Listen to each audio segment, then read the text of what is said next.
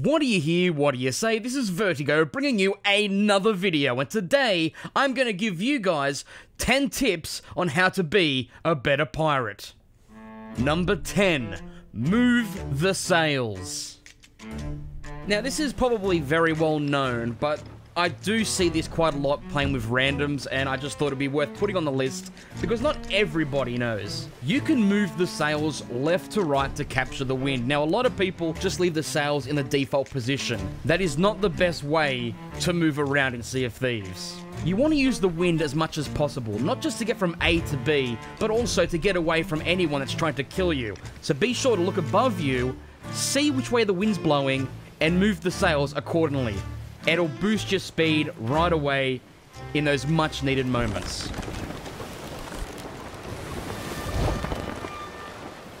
Number 9. The anchor isn't just for stopping.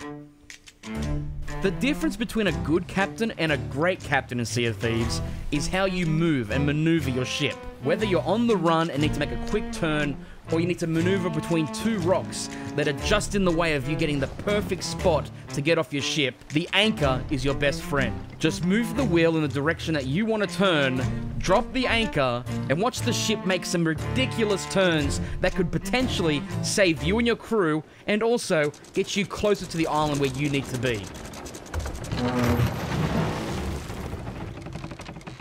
This little trick is pretty basic, but has got me out of a lot of jams and a lot of situations. It's one of the best tricks you can use. Number 8. Center your ship. Another simple trick that not everybody knows is that the steering wheel on the ships have a gold handle.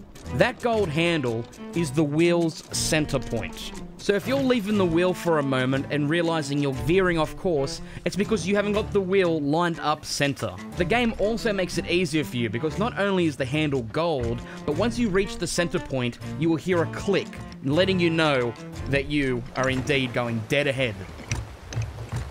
So stop veering off and make sure you center your ship every time you plan to leave the wheel. Number 7. Lunging Speed. This cool little trick, I'm not sure whether or not it's going to be around in the official game when it releases, but as of the beta, it is still in the game and comes in quite handy. Have you ever been in the situation where the ship is stopped a little bit too far away from the island and it takes a long ass time to swim back to it? Well, then just take out your sword, hold left click, and let the lunging attack charge up. As it's charging, move into the water and let the lunge lunge you all the way to your ship at supersonic speed. As I said, I'm not sure if this trick's going to be in the game officially, but right now it is super handy if you need to get back to your ship in a rush.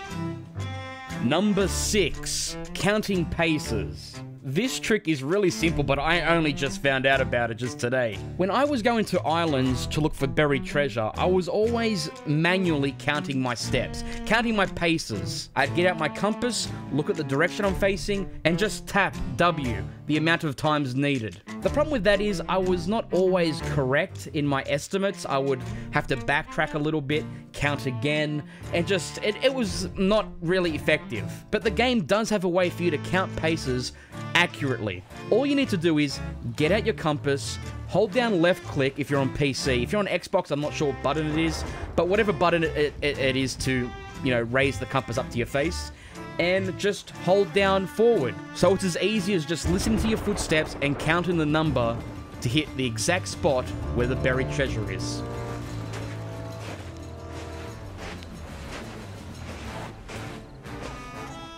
Number 5. Checking your map.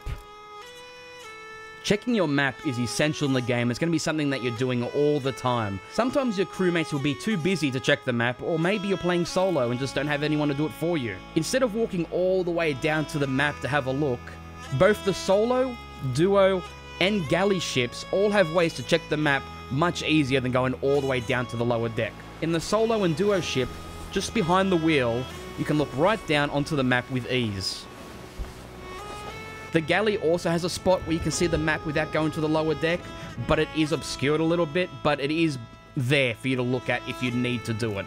Knowing this is going to save you a lot of time. As I said, time in this game as a sailor and a captain is essential. Everything you do could be the difference between your ship sinking and not sinking. So being able to look behind you at the map or just going down a couple steps is going to save you time. you can now look at the map with ease. Number 4, Going Dark. Now this little trick was in one of my episodes, I believe, and is a very useful trick that I know for a fact not everyone uses. When that sun goes down, it becomes extremely easy to spot out other ships.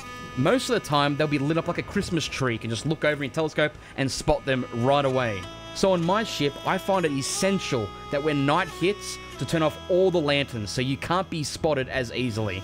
But not only is it a defensive maneuver, it can also be used as an attack maneuver by being able to sneak up on your enemy without them really knowing you're there. So all around, it's a bad idea just to have the lights on in general. So yeah, turn off your lanterns at night.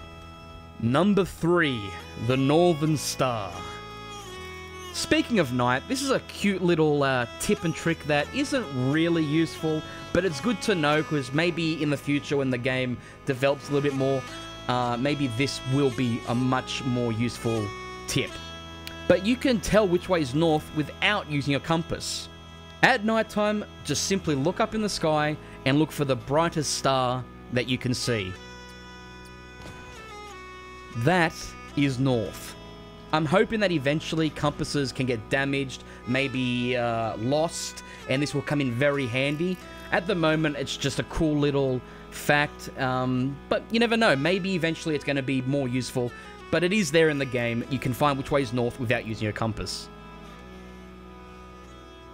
Number two, let the captain see. One of the biggest problems with Sea of Thieves is lack of communication. Especially if you're queuing up solo, it is very difficult to find people that actually speak to you. So if you're captain and you're steering the wheel and you don't have people around you that are speaking, you could run into a rock, run into an island, or maybe even run into an enemy ship. So if you don't have a crew that speaks to you, just simply raise the sail. Raising it about halfway is going to give you a little bit of vision. It's not going to give you full vision, but it's going to give you enough that you can move around rocks and just be overall a better captain when people refused to speak. Which, by the way, in 2018, come on, uh, you haven't got a mic in 2018. I'm not gonna, I'm not gonna rant, but it's it's it's bloody annoying. Number one, get some friends. This is a pretty obvious tip, of course, but I had to put it on here, especially for the back of that last tip. You have to bring friends into this game. Yes, in certain circumstances, you can have fun with randoms, and even solo, you can have a little bit of fun. Even though solo is much more difficult and uh, I wouldn't recommend it. But, you know, sometimes you have to do that. But if you can, definitely play this game with friends because communication is the most important thing to become the best pirate in all the seas. You could be the best captain ever. You could line up your ship perfectly against enemies, you could maneuver perfectly and just be flawless. But if you have a shitty crew that is not speaking to you, it is almost pointless. So the number one tip, no doubt, to become a better captain and a better pirate is to find some friends that have microphones and play with them. Because if you have clear communication, not only is the experience going to be more fun, it's going to be much, much more successful. And that does it for my top 10 tips and tricks for Sea of Thieves. There's a lot of basic stuff in here. Uh, this is mainly just beta stuff. I'm sure when the full game comes out, there's going to be a lot more tricks and stuff that you can do. I even had more that I could have put on this list, but I wanted to keep it to 10. And I wanted to keep it more simple because I know a lot of people are going to be playing this game in a couple months who are brand new and never played it. And this is going to help them a little bit just to give them a kickstart and know what the hell they're doing. So I hope you enjoyed the video. If you did, let me know down below. And you will be seeing me on the seas once again, I promise you. I will be back. But until then, this is VERTiiGO, and may the Force be with you always.